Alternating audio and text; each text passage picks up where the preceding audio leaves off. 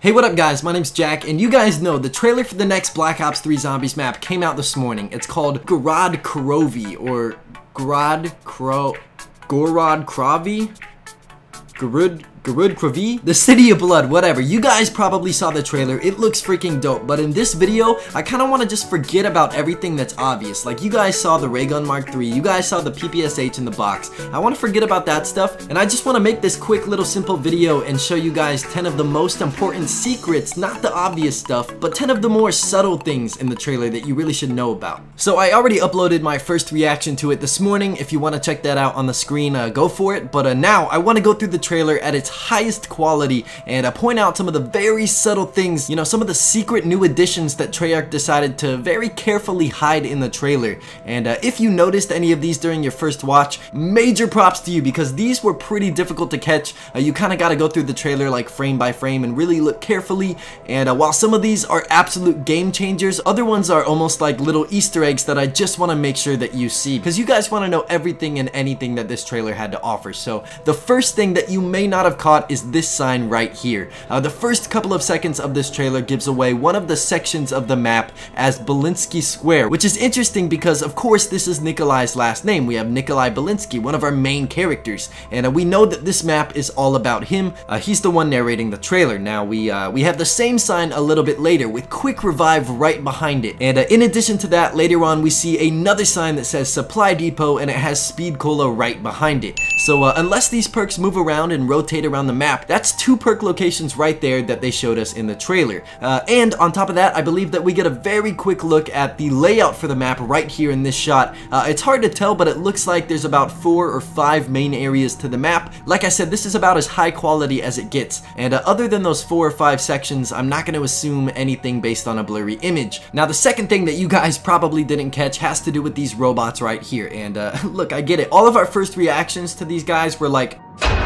are these aliens? Are they UFOs? Where did they come from? You know, I, I, I thought this was zombies. Uh, well, if you look closely, the trailer answers that for us. They all actually have the numbers 935 painted on them, meaning that these things were experiments and creations of Group 935, uh, which we know Richtofen and Maxis were a part of uh, when they helped create zombies. So I think that that's really worth knowing. 935 made these things. And it's interesting, I think that on the blurry image of the map that I just showed you, you can see the 935 logo as well. So uh, I don't know, that's something worth knowing. Number three, 3 though, within the very first couple seconds of the trailer, Jason Blundell was like, fuck it mate, I'm gonna show you guys where the power switch is, and that's exactly what he does. Uh, you can see right here on the left, it looks like, and I don't want to jinx it, uh, that maybe we have a normal power switch this time. Uh, hopefully we don't have to go swimming in zombie infested waters, uh, or clear spider webs, or turn on three power switches this time, uh, just to get a dang perk. I don't know, for all we know, there's 10 of these guys all around the map. Now the fourth thing that I want to talk about, of course, is the dragon dragons. Now, we've predicted dragons to be in this map for a while, and uh, we definitely got one.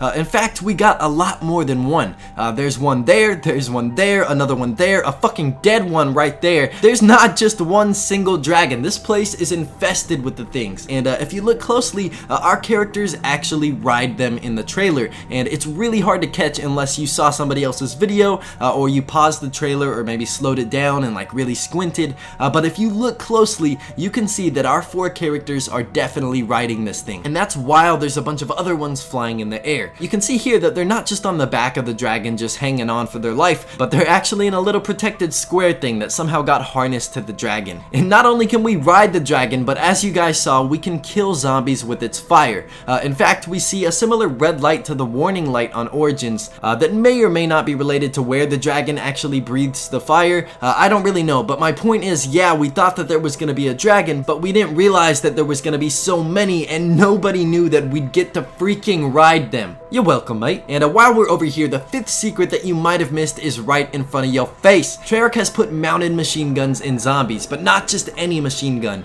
This looks exactly like the MG42 that we saw in World at War. And I'm telling you guys, Treyarch fucking knows what we want. Uh, we got the PPSH and the MG back from World at War. Uh, unquestionably some of the most memorable guns uh, from the original Nazi zombies. Uh, so so thank you for that, Treyarch. And uh, moving on to the sixth thing that I want to show you guys, it's in the same shot. Uh, we have these regular looking zombies over here on the right, right? And then we have these big scary ass things on the left. We're gonna have multiple types of zombies in this map coming at us at the same time, uh, and they don't look like they're fucking around either. I mean, look at him. Uh, he's got sharp claws on one hand, and then he's got this crazy fist thing on his other hand. I mean, it looks like they gave the zombies wonder weapons now. And uh, with that said, we see another type of zombie right here, and this time it's a skeleton, and there's a few interesting things about this guy. Number one, his eyes are blue, and all of the zombies' eyes were red in the trailer.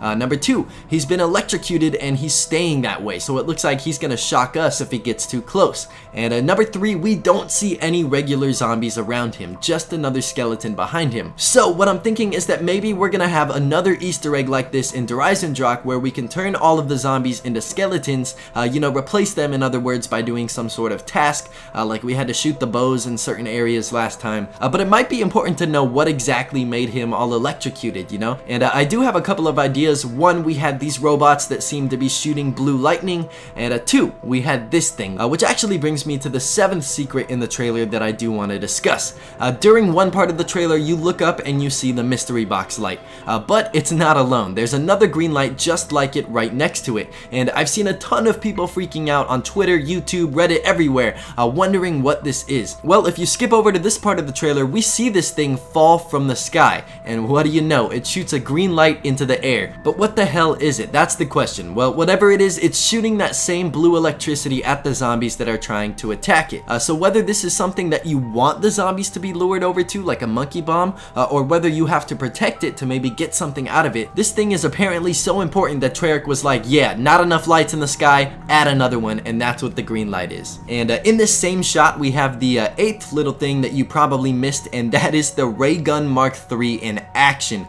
Uh, you can see the ray gun bullets going off everywhere, and if you zoom in right there, boom, Dempsey is holding that dual wield baby and doing work. So uh, other than that shot that we got in the mystery box, we do have another glance at the ray gun Mark III in use. And uh, for the ninth thing, we also get a very quick glance at two new traps that they've added to Black Ops 3, uh, or rather old traps that they've upgraded it seems like. Uh, we have the electricity one, which is simply a classic. We had it in, what, Verrückt, Shi No Numa, uh, all that. And then we have this trample steam looking one uh, that just flings them away. Uh, it's not anything huge, but a lot of people missed it, and I wanted to make sure that you guys know what's coming. And finally, I think that it's super important to point out that as expected, all of our characters are rocking the blood vials, not just Richtofen. Uh, as we know, the characters teleported somewhere in the last map, Zetsubo no Shima, uh, to go get these extra blood vials, and uh, this new trailer confirms that yes, all of the characters still have them, and they're going to be using them, uh, whether it's a big role in this map or the next one, I don't know, but it is a very important part of the storyline.